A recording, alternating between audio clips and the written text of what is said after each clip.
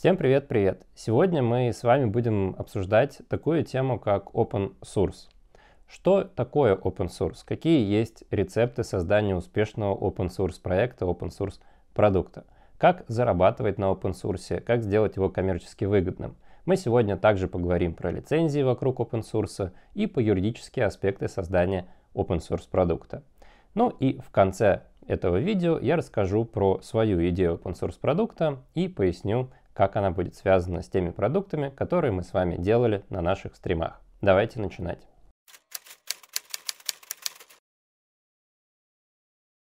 Итак, прежде чем мы начнем, я попрошу вас подписаться и поставить лайк этому видео, потому что это важно для нашего продвижения.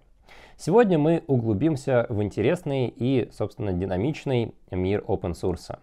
Мы поговорим о том, что такое open source. Open source — это открытое программное обеспечение — это гораздо больше, чем просто программное обеспечение. Это, по сути, целая философия и культура создания продуктов, основанная на идее свободного и открытого обмена знаниями и технологиями.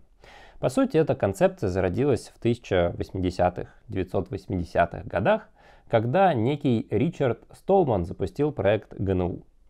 Собственно, это было предвестником современного движения open source.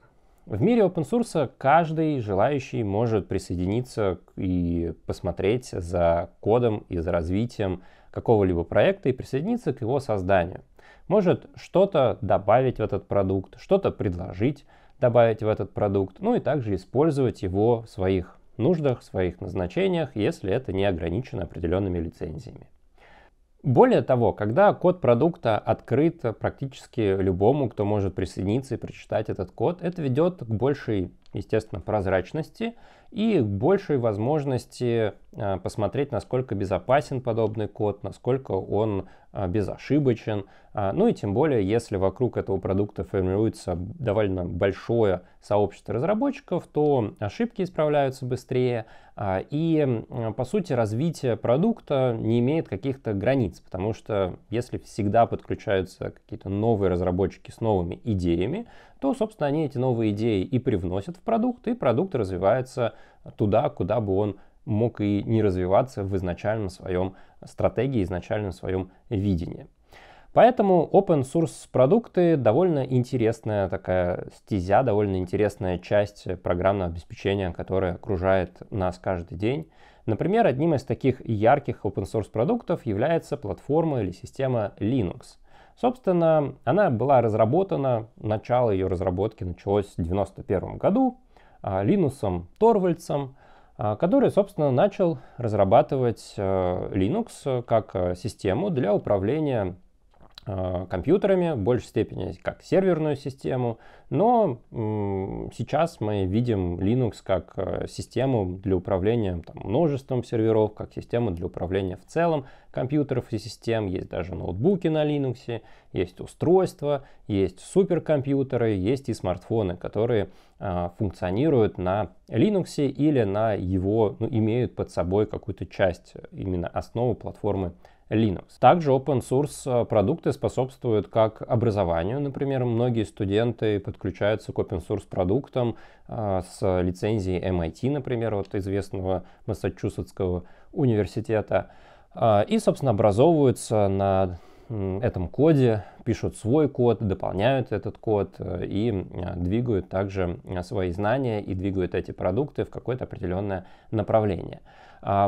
Также мы можем видеть, что многие-многие научные истории появляются, или там многие новшества, многие инновации могут также зарождаться изначально из open source продуктов. Ну, например, тот самый чат GPT, которым мы а, все с вами а, пользовались и пользуемся, и разговариваем об этом уже многое-многое времени на этом, собственно, блоге в том числе также был изначально open source продуктом, ну и остается в какой-то мере open source продуктом, хотя уже с некоторой такой э, хитрой системой, хитрой схемой, э, как вот в недавнем э, видео от Y Combinator говорили, что если вы начинаете, собственно, свою компанию и думаете, как юридически там все регистрировать и устраивать, то ни в коем случае не надо смотреть, как устроен OpenAI, потому что там довольно сложная и запутанная схема, коммерциализации, схемы взаимодействия, схемы там, развития, о котором мы, впрочем, говорили в прошлом видео, вы можете его найти на этом канале и посмотреть.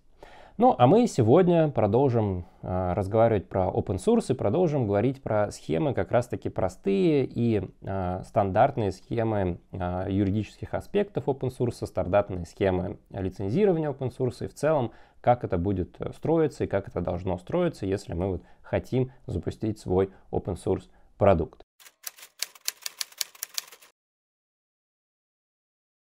Итак, но прежде чем мы начнем рассматривать в целом, из чего состоит и как строится open source продукт, давайте поговорим, а какие есть еще успешные примеры open source продуктов, чтобы мы понимали, что на самом деле это не какой-то а, неведомый единорог, и только у Linux что-то получилось сделать, и мы все пользуемся а, в той или иной мере линуксоидными системами, но и есть и другие известные и не очень известные продукты, которые также успешны и были изначально и являются open source продуктами. Ну, Linux мы уже с вами а, упомянули как операционная система, которая в целом окружает, наверное, каждого из нас, потому что многие-многие серверное оборудование, например, а, которое нам в конечном итоге а, поставляет в том или ином формате интернет, также работает на линуксоидных операционных системах.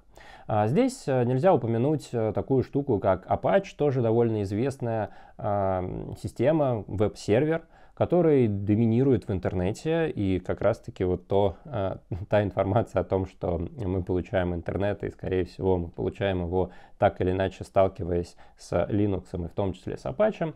А более того, мы с вами далее рассмотрим лицензии, и вот, собственно, одна из форматов, один из вариантов лицензии, он как раз-таки прям-таки разработан этой системой Apache, ну, то есть от тех, кто разрабатывал эту систему.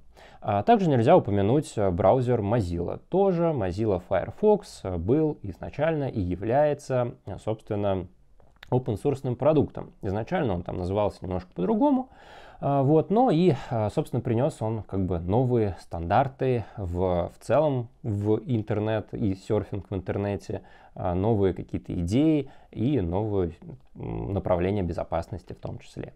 Ну и, конечно же, нельзя упомянуть такую систему, как Android. Половина, даже больше, наверное, часть смартфонов, которая оперирует, э, которой оперируют люди в мире, а, работает на системе Android. Кто бы что ни говорил, кто бы что ни говорил про рынок iPhone устройств, но тем не менее Android доминирует в мире. И, собственно, операционная система Android, разработана для мобильных устройств, это open source операционная система, опять-таки построенная на основе Linux. Стала самой популярной в мире. Тем не менее, у open source продуктов есть и какие-то особенности, и какие-то, не знаю, если можно так сказать, ограничения. Вот, например, мы сегодня очень много говорим про Linux, но тем не менее Linux, как я уже упоминал, это больше что-то про серверные истории, больше что-то про там, суперкомпьютеры, про там, смартфоны в том числе. Но интересный факт, что в настольных компьютерах а, Linux-системы занимают довольно ограниченный рынок, довольно маленькую долю этого рынка, и в основном ими пользуются э, специфичные люди, если можно так сказать, специфично настроенные технологические товарищи. А, ну, про Apache HTTP сервер, то, что из интересного, что я нашел, собственно, это был первый э, веб-сервер, который достиг 100 миллионов веб-сайтов в 2009 году. Вот, и, собственно, остается одним из самых популярных веб-серверов в мире. Ну, про Firefox я тоже уже говорил, был запущен в 2002 году, изначально назывался Phoenix, именно поэтому леса имеет такое некое сходство с Фениксом. А, быстро набирал популярностью благодаря того, что работал очень-очень быстро относительно других э, своих конкурентов. А, ну и также был безопасен и гибок.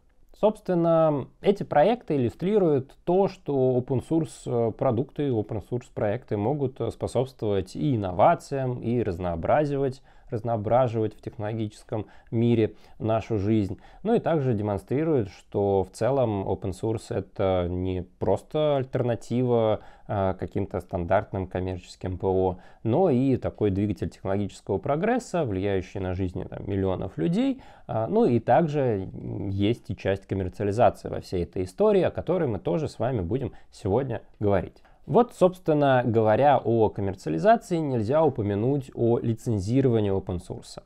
А, чтобы эта система, чтобы вот такая разработка, когда у нас есть открытый код, любой может прийти, посмотреть этот код, может его взять, сделать что-то с этим кодом. И также вот эта мотивация а, внешних разработчиков подключаться к проектам, что-то свое добавлять, тратить свое личное время на то, чтобы разработать, что-то привнести, какой-то вклад в проект, невозможно без какой-то определенной структуры в части лицензирования. Всего в open source есть а, 5 или 6 видов различных лицензий, но на самом деле а, все сводится к таким трем а, ключевым, наверное, видам лицензий, которые наиболее популярны в open source продуктах. А, первый вид лицензии это GPL лицензия или General Public License. Собственно, это, по сути, там, не просто лицензия, а это способ поддерживать ту самую свободу программного обеспечения.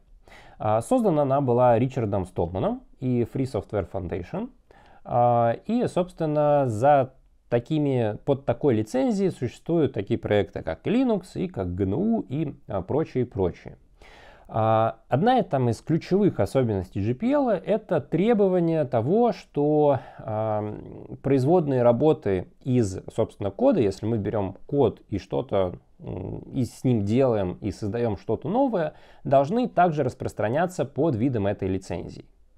А, соответственно, если кто-то решит, что нужно там, изменить код, создать новую версию этого продукта, они также должны предоставить доступ к своему коду по GPL лицензии.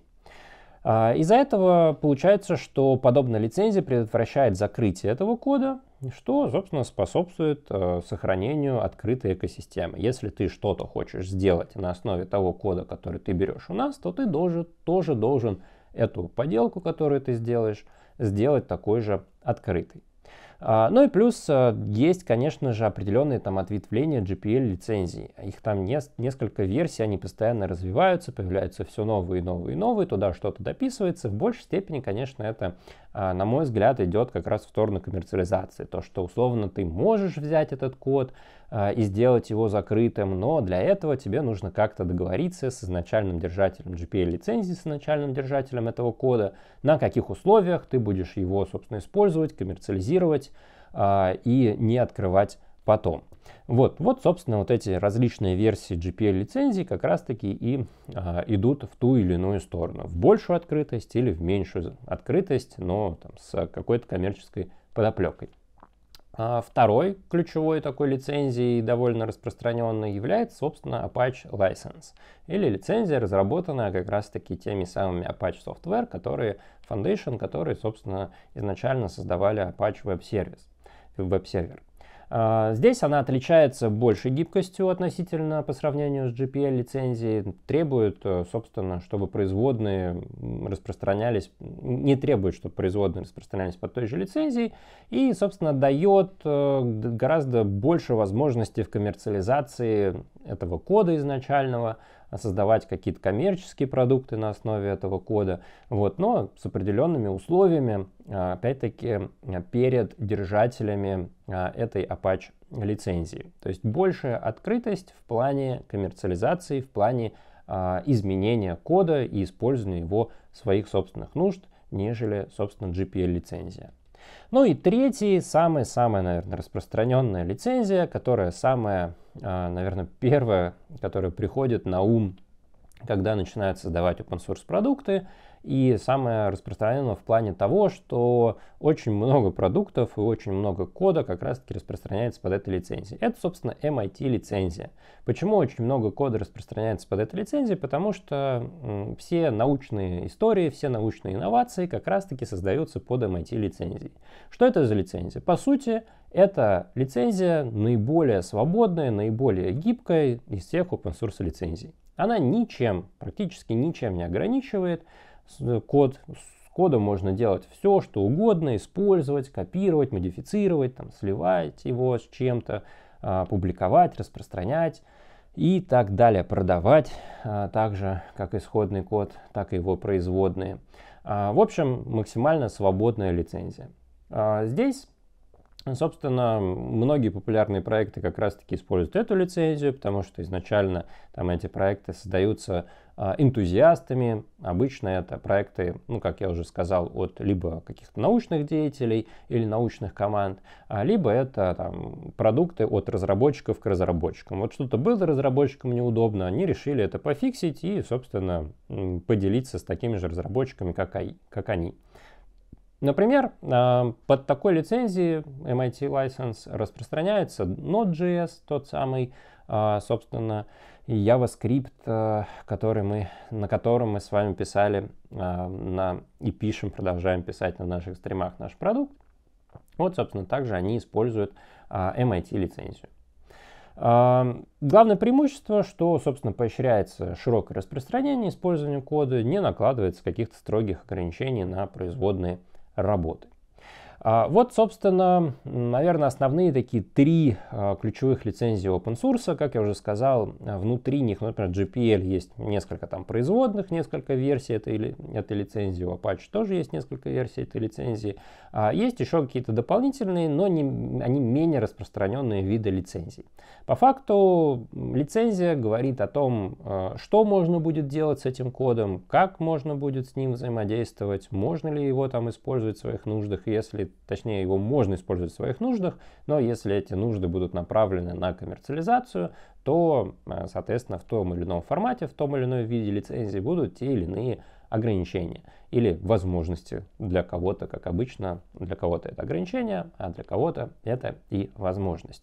Вот, собственно, выбор лицензии, по сути, оказывает существенное влияние как раз-таки и на развитие проекта. Потому что если мы там настроены на супер открытость, на супер демократию кода и создание вот этой экосистемы открытого кода на основе кода, который мы создаем, чтобы был он там порождал еще более открытый код и так далее, то здесь нам скорее нужно выбирать GPL-лицензию в ее там, стандартном исполнении.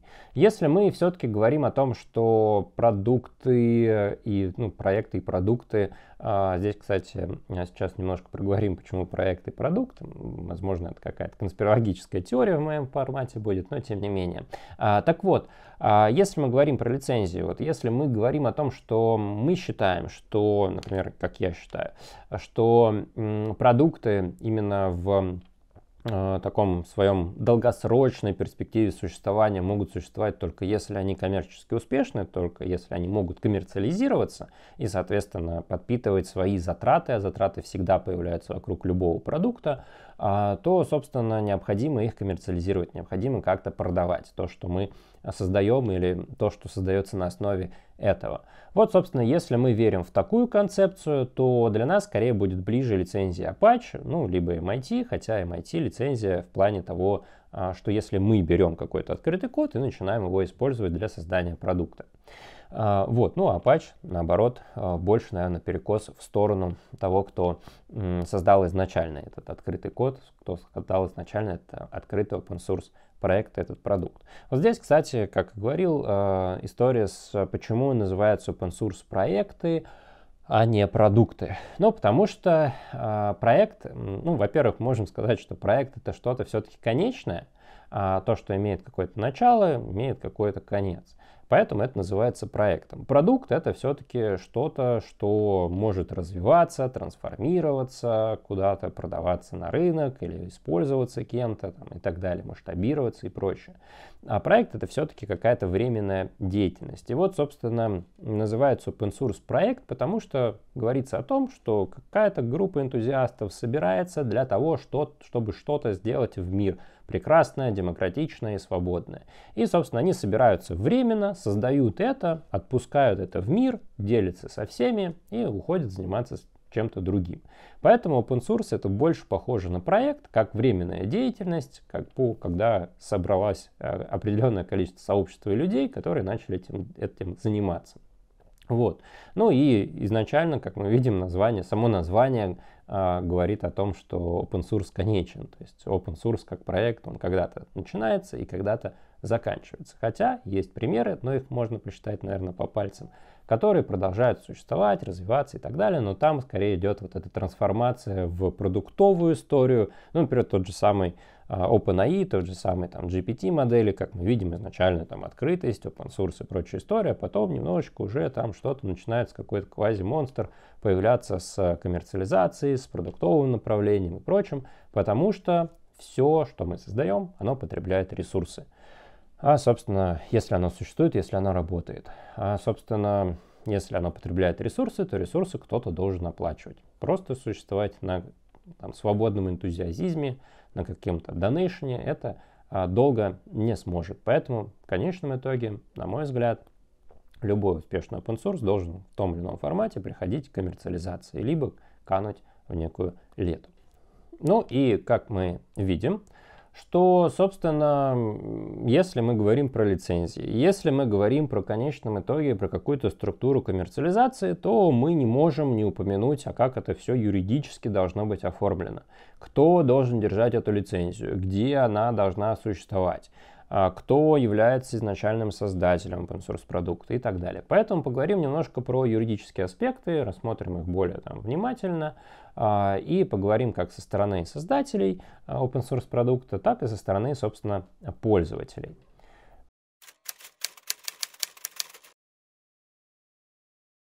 Первая часть, первая юридическая часть и, ну, наверное, в open source, в части open source продуктов довольно важная, неважно от как, ну, в зависимости от какой лицензии она распространяется, но довольно важная для а, вот любого такого open source продукта, это авторские права.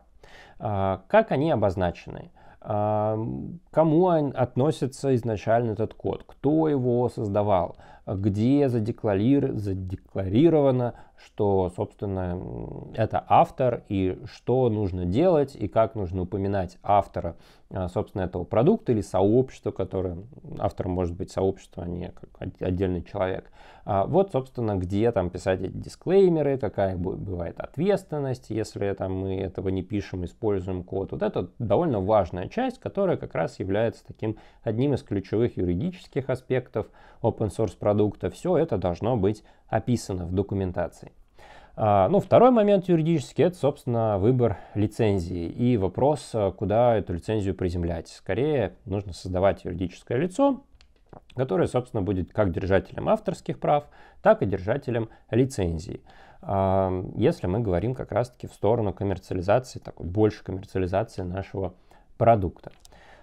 Ну и, соответственно, если у нас есть авторские права, если у нас есть ограничивающие лицензии нашего open source, то, собственно, если мы являемся пользователем open source продукта, если мы используем этот код, то нам нужно знать, а что, собственно, прописано в этих правах, а что у нас есть, что мы можем использовать, чтобы нам а, как бы не прилетело за использование чужого кода без каких-то там дисклеймеров, описаний и прочего, изменений и так далее. Все это нужно а, отслеживать, потому что могут быть большие юридические последствия нарушения этих авторских прав. Возможно, некоторые open source продукты как раз таки коммерциализируются за счет а, штрафов а, по использованию и неиспользованию авторских прав.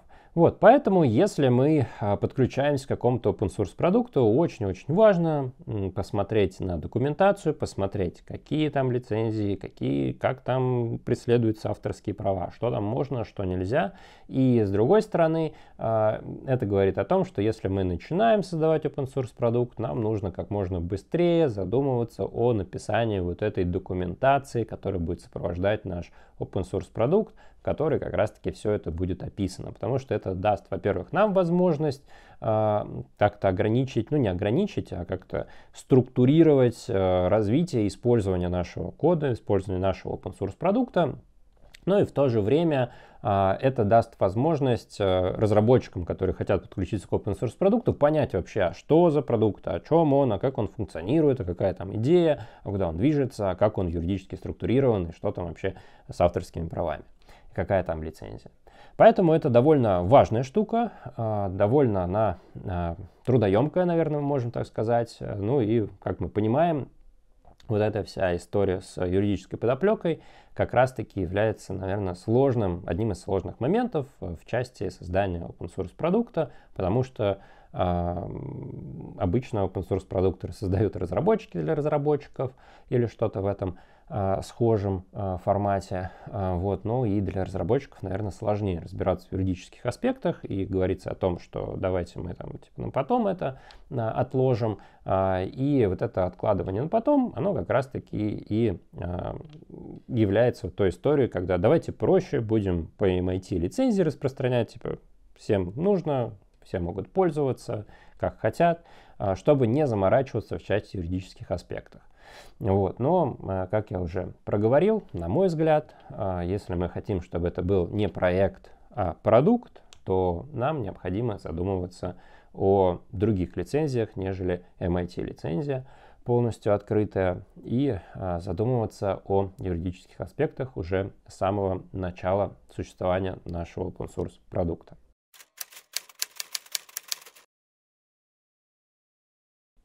И в ключе этого давайте теперь поговорим про коммерциализацию. Вот я все говорю о том, что я верю только в то, что продукт может существовать, развиваться и долго существовать только за счет того, что он будет коммерциализироваться в том или ином формате. Давайте тогда говорим, а какие есть вообще варианты коммерциализации а, open source продуктов. Рассмотрим там несколько ключевых там, стратегий, ключевых примеров, ключевых бизнес-моделей в open source продуктах.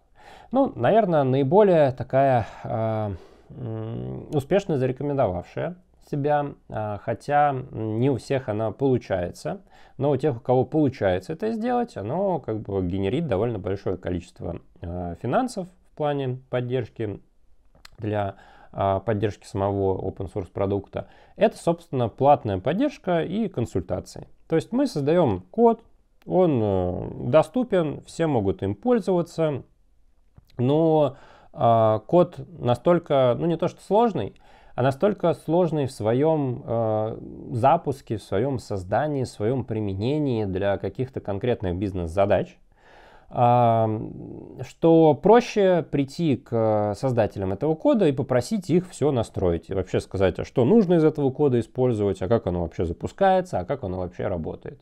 А, вот, например, здесь э, есть э, пример компании успешной Red Hat и многие еще другие компании, которые как раз занимаются консультацией и поддержкой. То есть, еще раз, код у нас полностью открыт, а, как бы можно пользоваться, можно самостоятельно его запускать. А, по такому же принципу, кстати, работает, например, Metabase, как вот система, как э, этот BI-система, такая довольно мощная, там, но при этом любой может ее поставить. Но если ты реально хочешь в нее погрузиться и реально с ней работать, то нужно либо сильно много времени потратить на разбирательство, как это запустить и установить, а, либо, собственно, обратиться в компанию разработчика этого open source продукта а, и получить помощь там, в настройке, в обеспечении безопасности, в соблюдении, обновлении там, программного обеспечения и так далее. Ну, получать какие-то либо полноценную такую поддержку, настройку, либо какие-то индивидуальные консультации,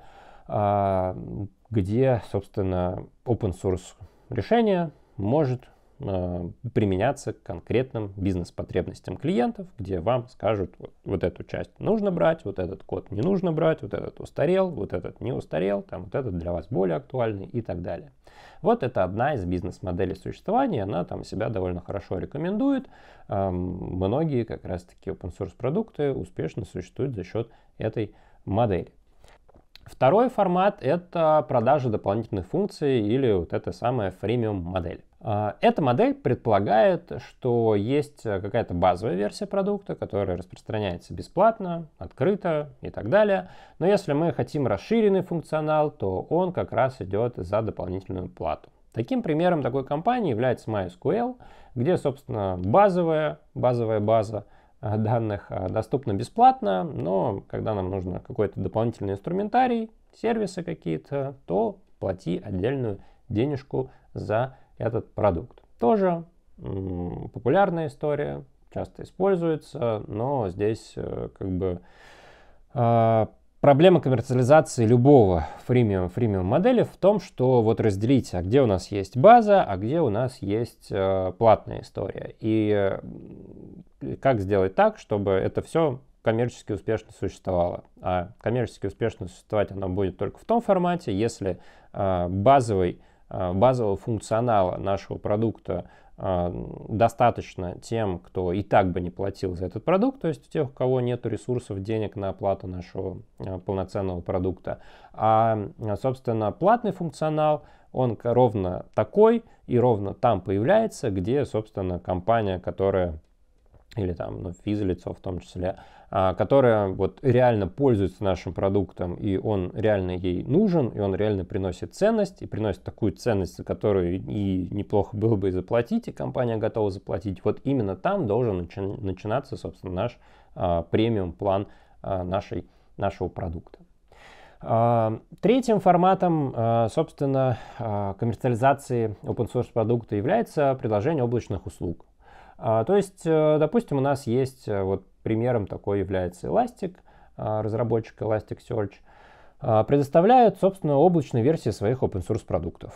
То есть есть э, продукт, вы можете его взять, код скачать, запустить у себя где-то на своем сервере или на своем компьютере, как-то там с этим взаимодействовать. Но если вы не хотите все это проделать самостоятельно, то, собственно, вот здесь у нас вот есть облачно настроенный наш продуктик.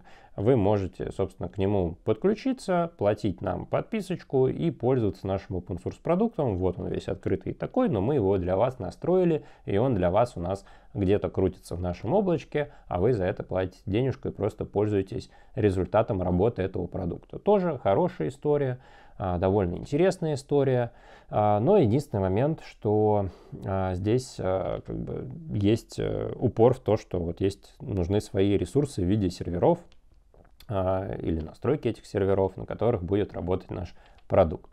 Вот, собственно, это такие ключевые, наиболее распространенные виды бизнес-моделей для коммерциализации open source продуктов. Еще раз давайте их перечислим. Это, соответственно, облако, это ну, облачная версия нашего продукта по подписке, это фримиум модель, когда у нас есть часть бесплатно, но есть премиальная функциональность. И это коммерческая поддержка и консультирование по использованию нашего а, open source продукта. Все это коммерчески успешно может существовать, опять-таки, если у нас есть лицензии, которые позволяют нам коммерциализировать эту историю, если у нас есть юридическая организация вокруг, собственно, нашего open source продукта, потому что кому-то нужно платить все-таки, и должна быть какая-то коммерческая организация, либо какая-то связка, вот, например, как в том же OpenAI, связка некоммерческой организации и коммерческой организации. Все вместе воедино как-то там работает, как мы с вами рассматривали.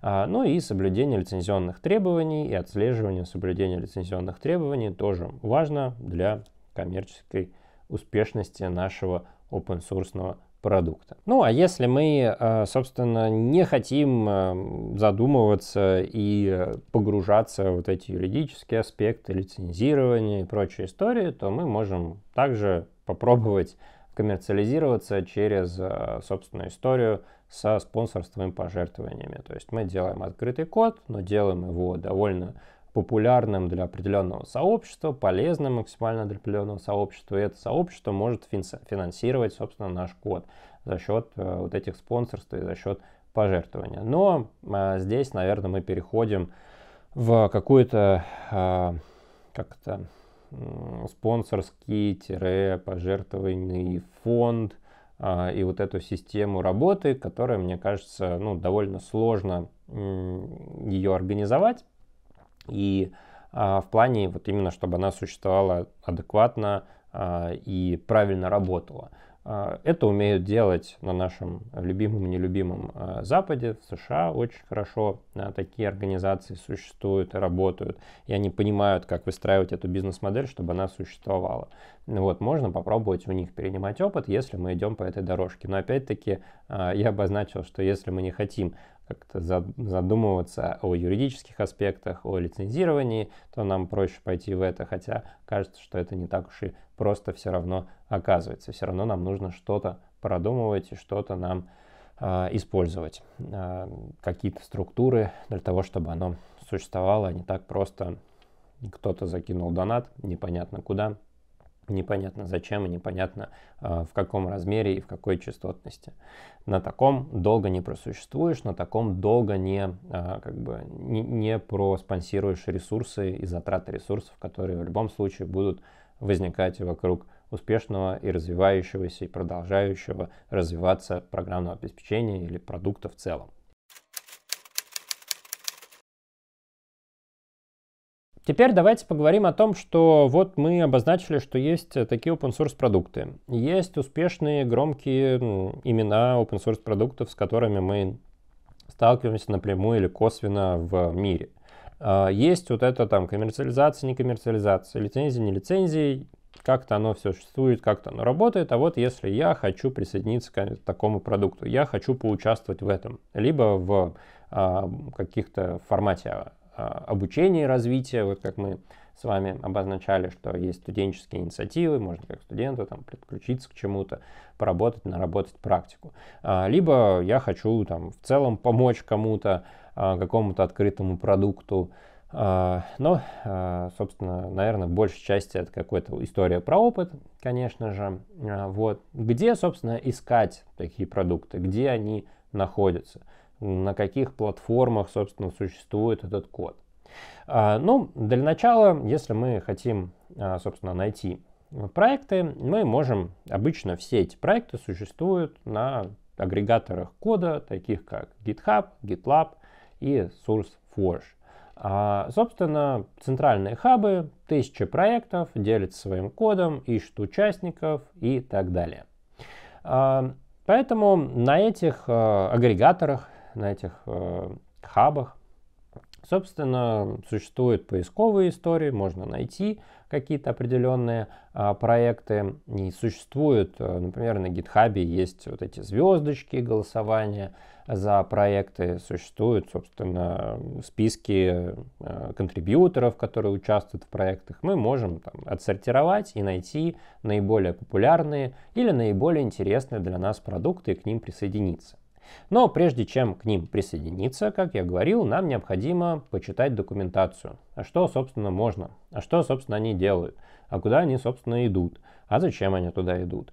А как я могу вкладываться в этот проект? А что я могу использовать? А что я не могу использовать? Вот все это должно быть у хорошего а, open source проекта, продукта описано в документации. Поэтому Первое, что мы делаем после того, как мы нашли что-то или что-то нас заинтересовало, мы идем в чтение документации.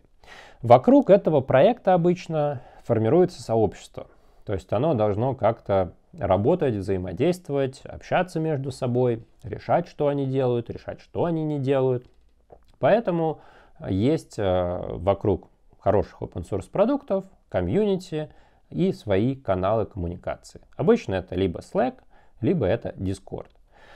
А, соответственно, ну, либо форум, как устаревший, а, наверное, формат. Ну, в большей степени, наверное, сейчас это Slack и Discord.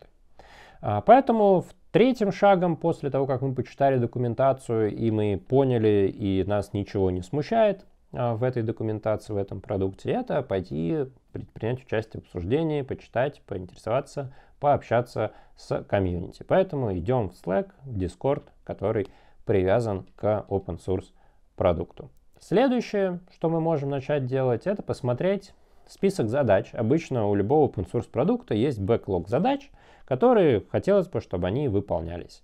А, и попробовать, собственно, начать делать эти небольшие задачи а, и, а, собственно, их выполнять и их предлагать для включения в, собственно, open source код, в этот код, чтобы вашу часть включили. Либо вы увидели какую-то там, не знаю, уязвимость или какую-то маленькую недоработку, возможно, у тех, кто разрабатывает, разрабатывает этот э, продукт, этот проект, а, собственно, не хватало времени а, на какую-то маленькую-маленькую мелочь. Вот можно найти эту маленькую задачку, сделать эту маленькую задачку и ее предложить как решение в этот open source проект.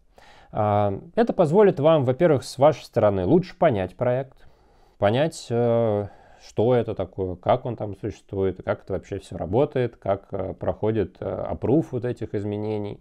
А, ну и также начать выстраивать свою репутацию в сообществе. Выстраивая свою репутацию, вы все больше и больше сможете в конечном итоге влиять на развитие этого open source продукта в его направлении, в его стратегии и так далее. Ну и, собственно, так как все прозрачно и все открыто, то как только вы предлагаете а, свой, а, свое изменение свой код в open source проект, то, собственно, вы получаете и обратную связь. Поэтому готовы, будете, будьте готовы вносить как корректировки, будьте готовы к обратной связи в целом, будьте готовы принимать обратную связь от а, того сообщества, которое уже работает над этим open source продуктом и которое, собственно, уже а, дольше существует в нем, чем вы.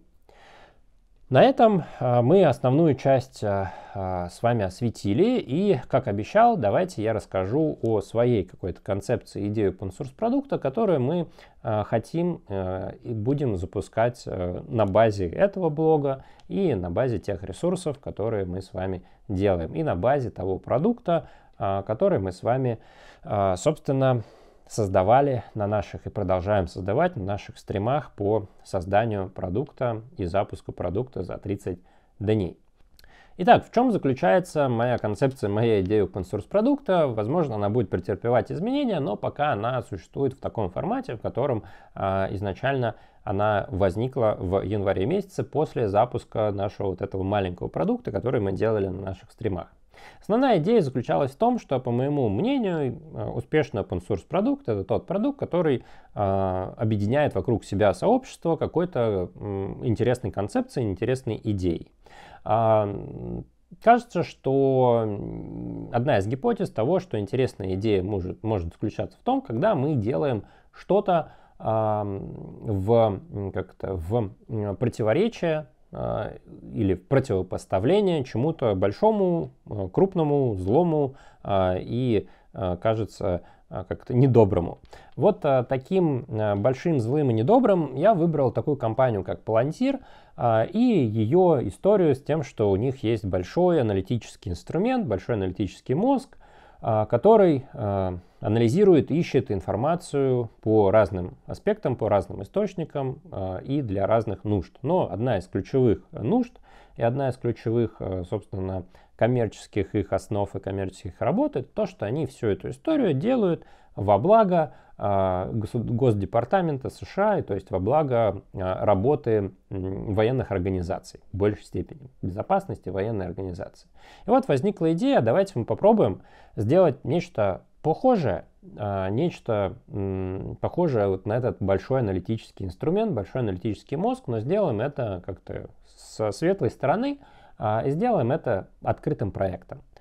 По сути, если мы говорим о такой большой аналитической машине, которая может э, анализировать разные аспекты э, информации, разные аспекты интернета и не только, то мы здесь сразу понимаем, что здесь может быть много-много разных направлений и много-много разных задач, и много разных продуктов возникать внутри этой истории.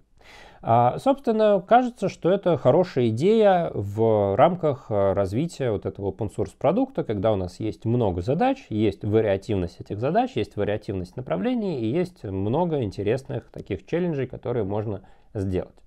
А, и, собственно, так родилась идея того, что вот э, пусть это будет open source продуктом. Я условно эту историю назвал Mock или какой-то некий мозг анализа информации, принятия решений на основе там, больших данных, на основе там, э, прочей истории, э, информации, анализа информации, анализа источников информации.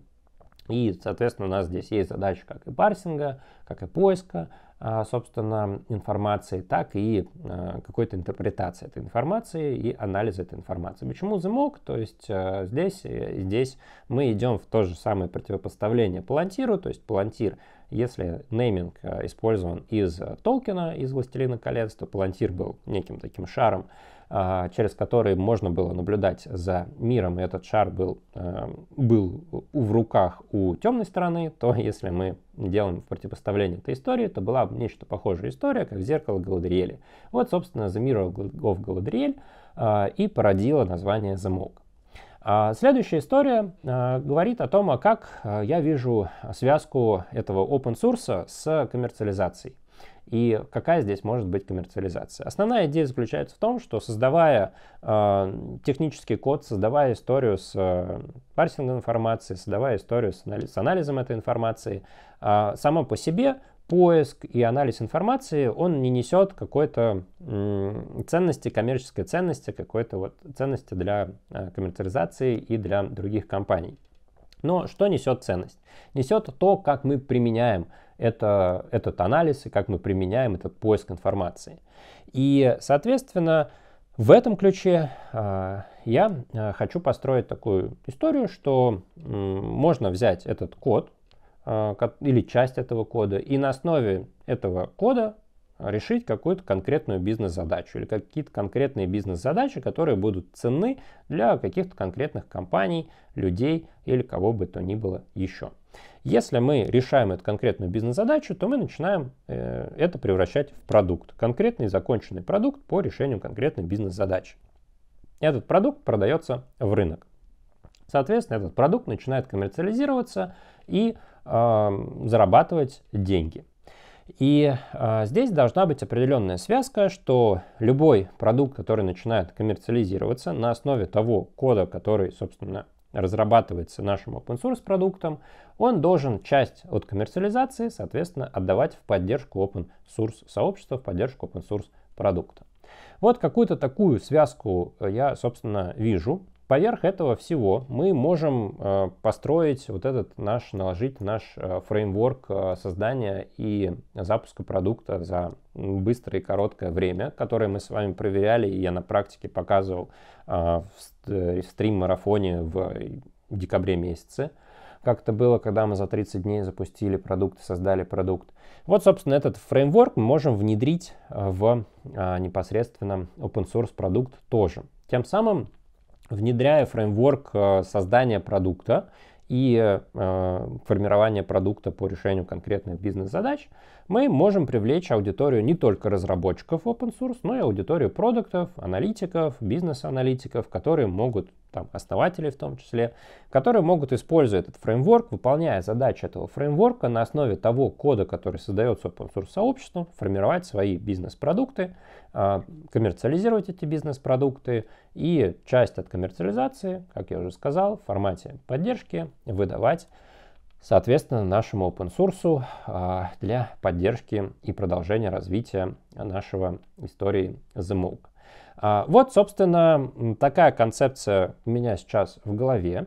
И в рамках демонстрации этой концепции мы как раз-таки привязываем тот продукт, тот CMT, пока плагин, который мы, собственно, создавали в рамках нашего стрим-марафона.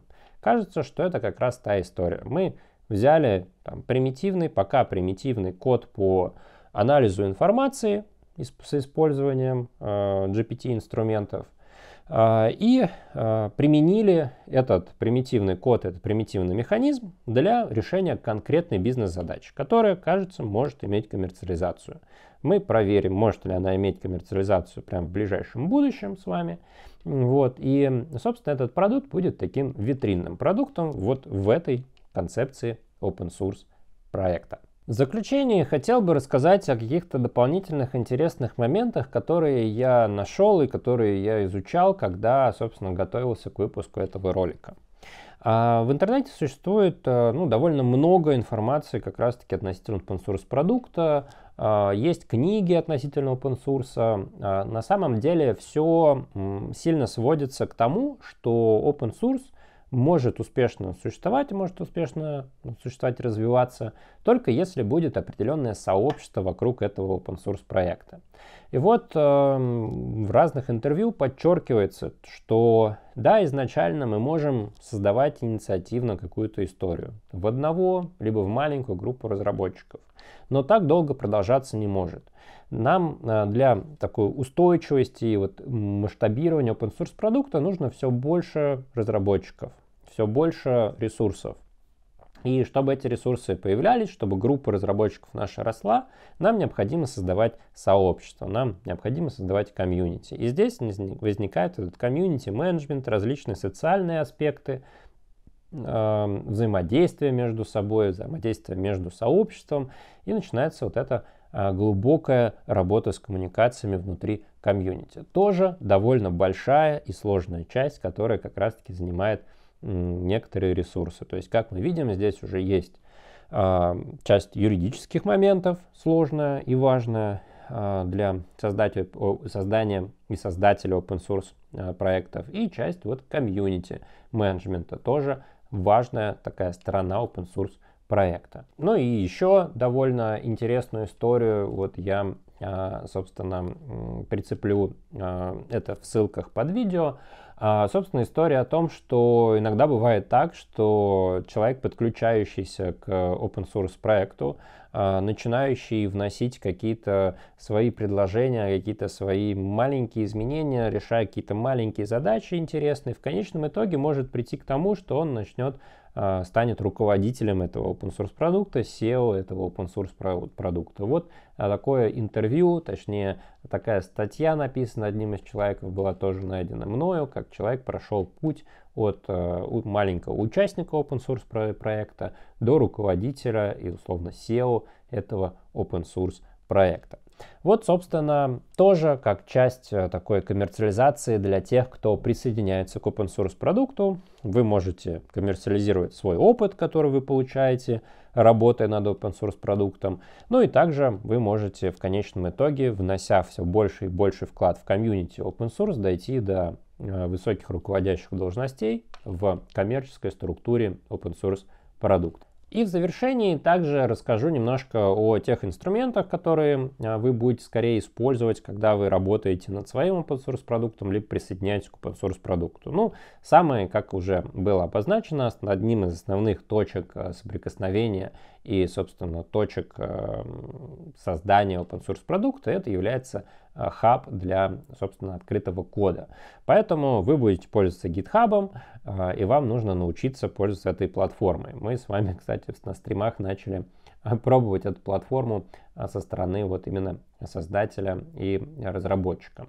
А также, соответственно, различные инструменты project менеджмента, такие как э, Trello, Jira, тоже здесь это присутствует, потому что есть задачи, э, есть приоритеты задач, э, есть отслеживание задач, тоже важные инструменты для любого open source продукта. Ну и в целом инструменты такого облачного и коммуникационного взаимодействия с различными аспектами ведения продукта, ведения бизнеса, ну, то есть различные облачные истории типа Google Docs, Google Sheets, всякие Slack, Discord, а, тоже как раз-таки это история, связанная с а, работой над open source продуктом. Вот знание и умение пользоваться этими инструментами позволит вам гораздо проще входить в комьюнити open source продуктов, в именно вот это комьюнити создателей и участников open source сообщества, open source проектов. На этом мы на сегодня заканчиваем такой ликбез по open source. Я надеюсь, что вы нашли для себя какие-то новые интересные моменты, вы узнали чуть больше про open source, узнали чуть больше о том, как это строится. А, давайте подытожим, э, собственно, рецепт э, хорошего open source проекта. На мой взгляд, это, во-первых, идея, а, которая может объединять вокруг себя. Возможно, это идея решения какой-то конкретной проблемы, которая существует у многих-многих разработчиков, и вы для друг друга это создаете. Возможно, это какая-то идея чего-то интересного, большого проекта, большого продукта. Возможно, это идея противопоставления чему-то. В моем случае, кажется, в моей концепции продукта open source, кажется, идея противопоставления нужно попробовать, как она сработает и как она будет работать. Второй момент э, — это, собственно, комьюнити вокруг open source продукта. Ну, это плавно вытекает из идеи. Соответственно, идея собирает вокруг себя людей, люди начинают тратить свое время, точнее не тратить, а вкладывать свое время в создание общей ценности. А, соответственно, комьюнити менеджмент, социальные взаимодействия тоже архиважно для open source проекта. Третье – это, собственно, как мы это все структурируем.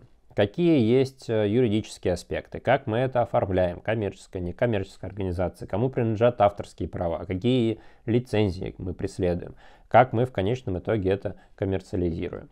Четвертый аспект успешного э, и четвертый ингредиент успешного open source проекта – это документация вокруг open source проекта.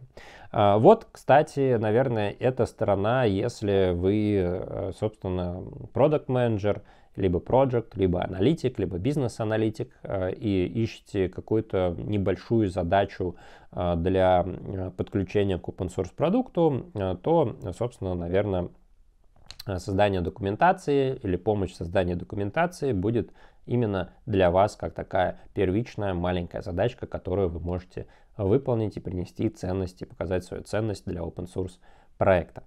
А, ну и пятая часть, заключительная часть, как говорится, вопросики, вопросики, профит, то есть то, как мы коммерциализируем эту историю.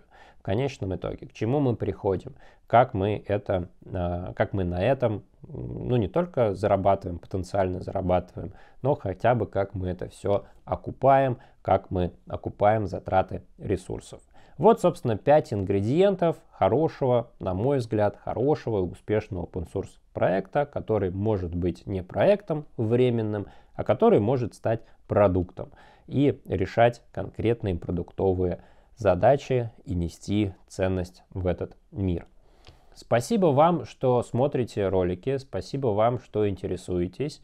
Присоединяйтесь э, к моей идее, моей концепции open source продукта, где можно обсуждать эту идею. Вы можете найти ссылки на телеграм-канал пока внизу в описании под этим видео. Там как раз таки будут все анонсы и там будет основное изначально коммуникация и обсуждение в том числе open source истории, open source продукта. Спасибо вам, Ставьте лайки, подписывайтесь на канал. Дальше больше, дальше интересней. Увидимся с вами в ближайшем-ближайшем будущем. Всем хорошего вечера, дня и всем пока-пока.